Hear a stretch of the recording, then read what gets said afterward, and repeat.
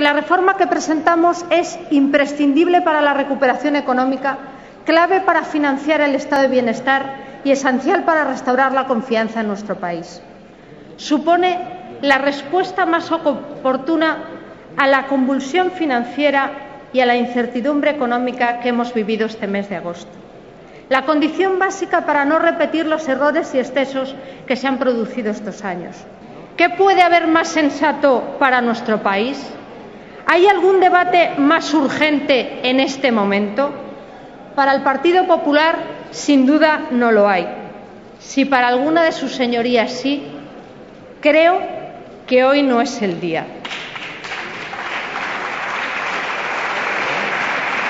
Señorías, sin estabilidad presupuestaria no se sostiene el estado de bienestar. Sin orden en las cuentas públicas no hay recursos para el crecimiento económico.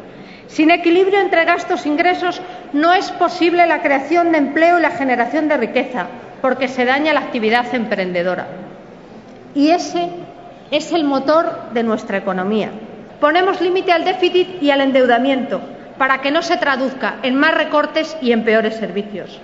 Asegurar la estabilidad presupuestaria significa también garantizar los recursos suficientes para la creación de empleo y la mejora del bienestar. Y viendo lo que hemos visto hoy, estamos muy necesitados de ellos. Significa que el endeudamiento de las administraciones públicas no volverá a suponer un freno para el crédito de las familias, de las pymes y de los autónomos.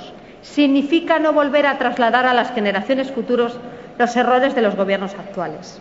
Con esta reforma damos una oportunidad a España una oportunidad a casi cinco millones de españoles que buscan un empleo, una oportunidad a todos esos emprendedores a los que les sobran ideas y les falta financiación, una oportunidad a los jóvenes que quieren trabajar por nuestro país y no tener que marchar fuera a encontrar un empleo.